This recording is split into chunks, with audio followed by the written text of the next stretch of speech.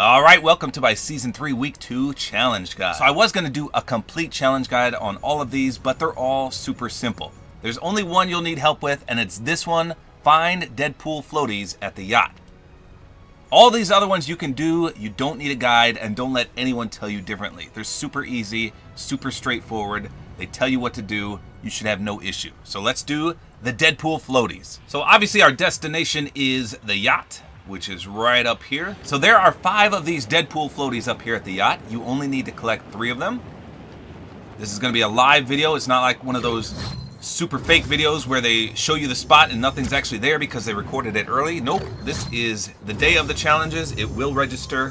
What's nice about this spot is there's also a chopper. As you can see, there it is, rendered in. So speaking of the chopper, you can use that as a guiding spot. So there's the chopper. If you follow this little walkway right here into this orange container, this is the first one. And this is what it looks like. So let me show you the exact location. This is kind of on the right in the middle there hold square on PS4 to collect it. Now it goes away there, but I don't know if it actually does go away. So I don't know if only one person can get one. I'm not sure. Now the second one you can find from this area. Now the second one, again, use the chopper. You can come over here on the bottom floor, go through this doorway, and there's actually a streaming green screen through these hallways. So navigate on your right. There's a chest right here floaty number two is right here. And again, that's in the middle of the ship, right there. Hold square to collect it.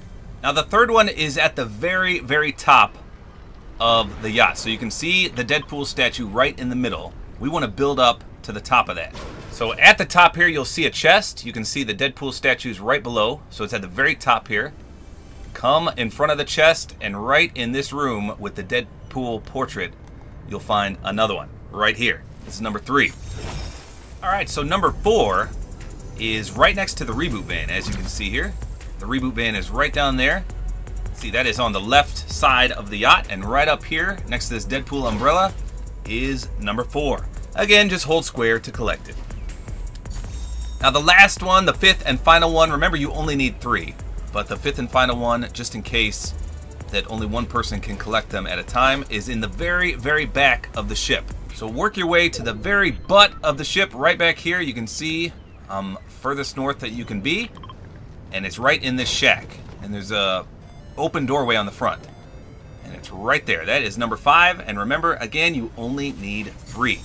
That's it. That's the hardest challenge this week. Hopefully you guys enjoyed this video. A like is always appreciated. And don't forget to use my supporter creator code, which is Tabor time.